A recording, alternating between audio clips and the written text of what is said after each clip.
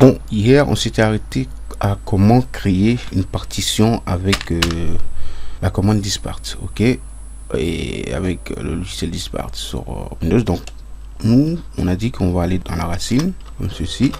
Hop, on va changer la couleur cette fois-ci. Je vais aller cette couleur-là. Maintenant, si je lance dispart, puis euh, comme ceci, dispart va se lancer. Puis on va dire à dispart liste disque hop normalement ok on va partitionner ce disque là on va dire dispatch select euh, disque 1 on a dit que c'était pas le, 0 parce que le 0 c'est le système. Donc c'est sélectionné maintenant on va dire liste euh, partition.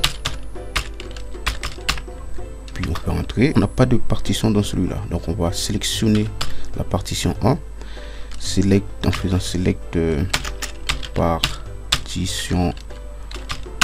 1 ok un espace mettez 1 ok. Maintenant pour créer euh, une autre partition là il faut dire que la commande c'est shrink euh, desired desired. Ok comme ceci. Puis on va dire que je vais prendre je vais prendre euh, 60 gigas. Mais par contre là il faut l'écrire en un donc 60 gigas égal qui est euh, normalement c'est 60 euh, gigas c'est 60 fois 1024 qui va nous donner 61 000 puis 440 et puis plus loin on met minimum qui est il faut qu'il y ait minimum euh, la taille minimum qu'on va mettre 50 gigas donc qui est égal à 51 200 ok. Puis vous pouvez entrer on attend un tout petit peu. C'est bon. Maintenant euh, pour euh, créer la partition maintenant. Donc là on a réduit euh, l'espace. Maintenant on va créer la partition en faisant create partition. Comme ceci.